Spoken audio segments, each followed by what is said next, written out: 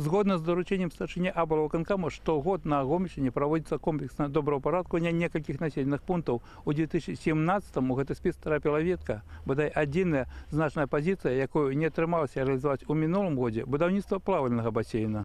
Плавальны басейн сацыяльна значны аб'ект, якога ў вецы не было ніколі. Яго неабходнасць тлумачыцца некалькімі прычынамі. Напэўна, самая галоўная з якіх патрэба ў аздараўленні насельніцтва, якое пражывае на пацярпелых тэрыторыях. Будаўніцтва басейна распачалося ў мінулым годзе. Завяршыць плануецца сёлета. Аб'ект будзе размешчаны каля цэнтральнага гарадскога стадыёна, што дазволіць стварыць у вецы сучасны спартыўна-аздараўленчы комплекс, разлічаны на жыхароў усіх узростаў. К сожалению, на данный момент у нас в городе нет бассейна. И потому очень остро стоит вопрос об обучении детей плаванию. С открытием нового бассейна в нашем городе, я думаю, мы эту проблему решим. И все школьники нашего региона, как городские, так и сельские, будут обучены плаванию. Зараз тут вядуцца будаўнічыя работы, якія плануецца завяршыць у гэтым годзе. Агульны кошт праекта каля 2 мільёнаў 460 тысяч рублёў. Заказчыкам выступіла абласное ўправленне капітальнага будаўніцтва, генеральны падрадчык ПМК 160 гомельскага абласнога будаўнічага треста. Непасрэдна праект веткаўскага басейна распрацавалі ў інстытуце Гомель Аболбуд праект. На працягу некалькіх месяцаў над ім практычна адначасова працавалі некалькі груп, якія прадугледзелі выведзелі ўсё ад пытанняў вода і цеплазабеспячэння аб'екта да яго архітэктурнага аблічча. У інстытуце кажуць, што асаблівых праблем падчас праектавання не было, але пэўныя непрадбачаныя абставіны накшталт павышэння ўзроўню грунтовых вод узнікалі, але цяпер усе пытанні вырашаны і ўжо можна казаць, якім будзе веткаўскі басейн, ці больш дакладна блок бассейнаў. Бассейн будет размещать в себе э, две чаши,